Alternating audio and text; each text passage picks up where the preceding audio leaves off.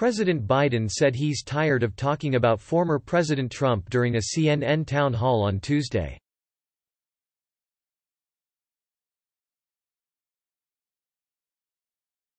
For four years, all that's been in the news is Trump.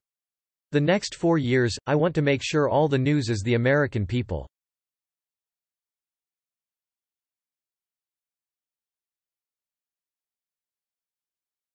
I'm tired of talking about Trump, Biden said when asked about Trump being acquitted by the Senate over the weekend during a second impeachment trial.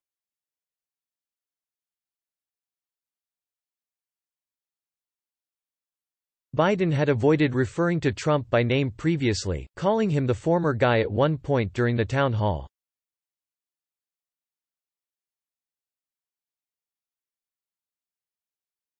The president and his top aides have generally sought not to bring up Trump's name in public remarks, instead referring generally to the previous administration.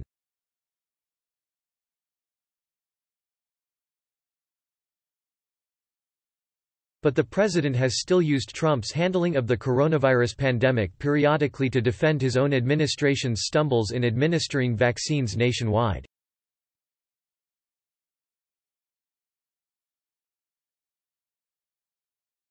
Biden during the town hall said he inherited a circumstance where there weren't enough individuals in place to actually administer the vaccines and that there was little federal guidance in how to get shots into Americans' arms.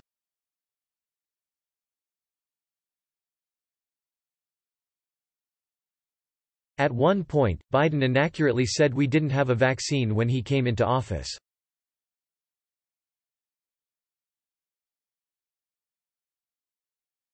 Trump has largely been out of the public eye since leaving office, having been banned from social media.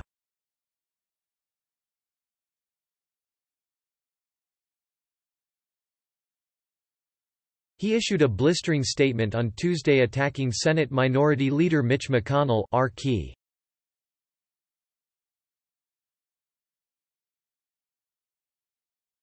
After the senator said Trump bears responsibility for what happened at the Capitol on Jan.